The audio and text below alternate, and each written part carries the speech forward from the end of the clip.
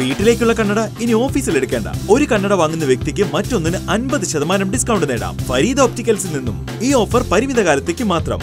Fareeda optic Vadakara. Condition supply. മൃഗങ്ങളിൽ നിന്ന് കർഷകന്റെ ജീവനും സ്വത്തിനും സംരക്ഷണം നൽകണമെന്നാവശ്യപ്പെട്ട് വടകര നിയോജക മണ്ഡലം കർഷക കോൺഗ്രസ് കമ്മിറ്റി പ്രതിഷേധ ജ്വാല സംഘടിപ്പിച്ചു. പരിപാടി കേര ചെയർമാൻ പ്രൊഫസർ ശശീന്ദ്രൻ ഉദ്ഘാടനം ചെയ്തു.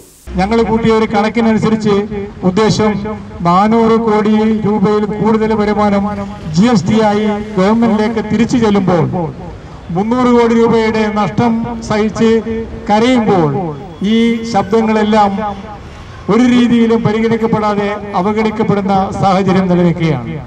ഈ സ്ഥലത്ത് നിന്ന് ഉണ്ടാവാത്തത് കൊണ്ടും ഞാനിപ്പോൾ ഈ പറഞ്ഞ കണക്കിന്റെ ഗൗരവം അതിന്റെതായ ഗ്രാവിറ്റിയിൽ കർഷകരിലേക്ക് എത്തിക്കുന്നതിൽ വേണ്ടത്ര നമുക്ക് കഴിയാത്തത് കൊണ്ടും ഈ അവഗണന നമ്മൾ വളരെ ശക്തമായ രീതിയിലുള്ള പ്രതികരണം കർഷകരുടെ ഭാഗത്തു നിന്നുണ്ടാവണം മുന്നൂറ് കോടി രൂപയുടെ നഷ്ടം കർഷകർക്ക് സംഭവിക്കുന്നു എന്ന് പറഞ്ഞാൽ അത് സംഭവിക്കുന്നത് വിപണിയിലാണ്.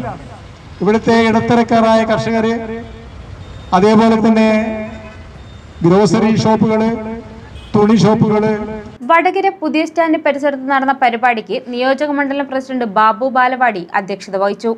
കോൺഗ്രസ് ജില്ലാ സെക്രട്ടറിമാരായ T V Sudheer Kumar Kavil Radhakrishnan block Congress president Satheesan Kuriyadi C K Viswanathan Kizhakkel Rameshan Koodali Ashokan V K Preman Subin Vadappally C V Pratheesan Venu Chennamangalam തുടങ്ങിയവർ സംസാരിച്ചു.